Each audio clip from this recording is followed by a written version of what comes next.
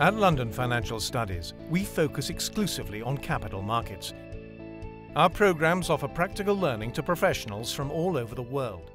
This presentation is all about modelling break-even inflation, um, a topic which is increasingly important in the current environment as inflation appears to be on the rise in a number of economies.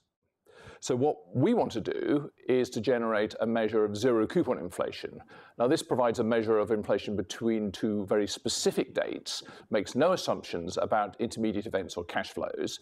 It's often referred to as break-even inflation. So just looking at a standard uh, index-linked bond, we know that the price of a nominal bond is just um, the sum of discounted cash flows, where cash flows here incorporate the... Okay, so let me just illustrate the problem that we have. Let's say we have two bonds in the market, both bonds maturing in three years' time, paying annual coupons.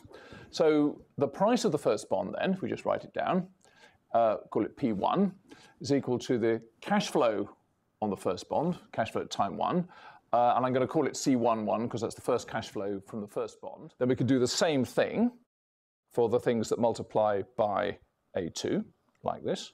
So you can see C11 multiplied by F1 um, at, sorry, F2 at time 1 plus um, C12 multiplied by F2 at time 2 plus, but now we're only looking for two unknowns. That's A1 and A2.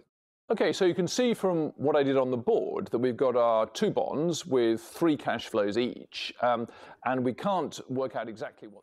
Okay, now we need to say something a little bit more about these mysterious B-splines. So let me just illustrate.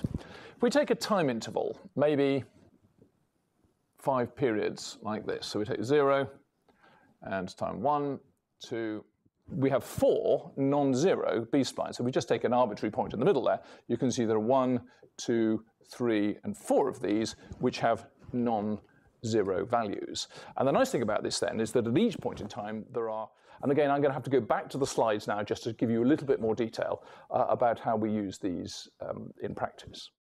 So now you've seen what these B-splines or basis splines look like, and it's the third order B-spline, the ones that piecewise cubic that we're going to use here.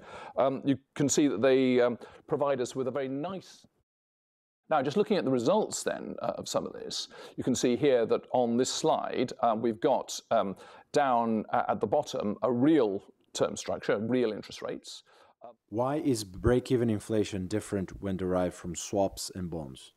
Ah, well, this has um, been a feature of the US market for a while. We've had a very big gap from implied inflation from TIPS and, and implied, implied inflation from the swaps market. Um, basically, bonds and um, swaps